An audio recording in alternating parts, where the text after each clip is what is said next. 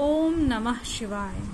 देखो, किसी ने पूछा है, उनकी राशि कैप्रिकॉन है, यानी मकर राशि है एंड एज है थर्टी फोर शादी को करीबन पाँच साल होने जा रहे हैं बट अभी भी उनके बेबी से रिलेटेड कोई भी गुड न्यूज़ उनको नहीं मिला है।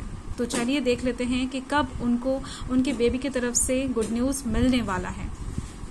प्लीज़ डिवाइन गाइड करें कि कब होगी उनकी बेबी बेबी की तरफ़ से गुड न्यूज़ उनको कब मिलेगा।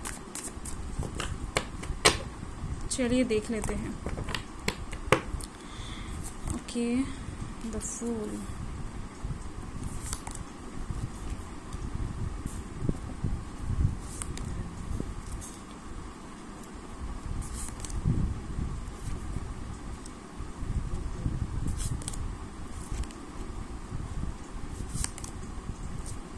फाइन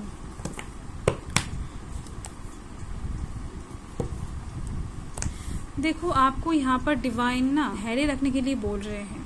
ज़्यादा चिंता किसी भी चीज़ में ना ले। एंड अपने खाने पीने पर, सोने पर थोड़ा सा ध्यान दे। ज़्यादा टेंशन की वजह से बहुत सारे प्रॉब्लम्स ह्यूमन बॉडी में होते हैं तो जिसके वजह से भी प्रेगनेंसी में बहुत सारे कॉम्प्लिकेशन चले आते हैं।